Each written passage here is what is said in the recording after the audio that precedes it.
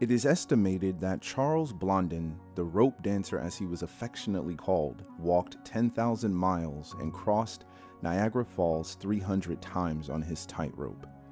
One historical record boasts that Blondin had balanced his way to the middle of the rope with an oven and utensils, started a fire, and cooked an omelet for passengers below on the Maid of the Mist tourist vessel.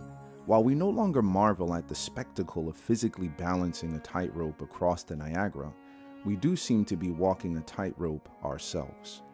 We live in a time when we truly want to have it all start a successful company, build a happy marriage and solid family, maintain our physical and mental health, possess a vibrant social life, and all the while be firmly grounded in our walk with God. But we're usually only left with a well of worries and the crushing pressure of perfectionism.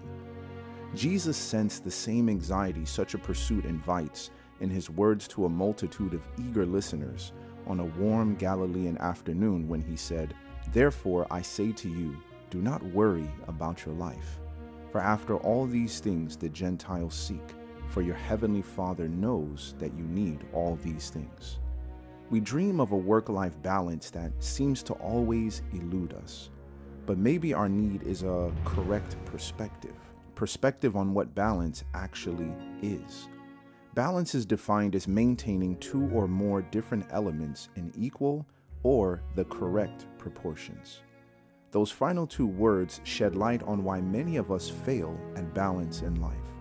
Think about it. A balanced diet isn't equal proportions of every food group, but each food group in their correct proportions. This paradigm shift unlocks our dream of balance like a bird flying free from a cage. Jesus, sensing the questions arising in the hearts of the multitude, continued, But seek first the kingdom of God and his righteousness, and all these things shall be added to you. The key to balance is perspective and priority. Let's be 100. Our situation regarding our health or relationships isn't usually not enough, but not at all. Our most treasured values receive no portion at all as only one value consumes all portions. But this need not be so. Jesus teaches us, like he taught that unsuspecting multitude, that we can enjoy the most beautiful things in life by prioritizing them. You can enjoy date nights with your spouse because you prioritized your spouse. You can delight in a family night because you prioritized your family. You can relish in a healthy body and mind because you prioritized your health.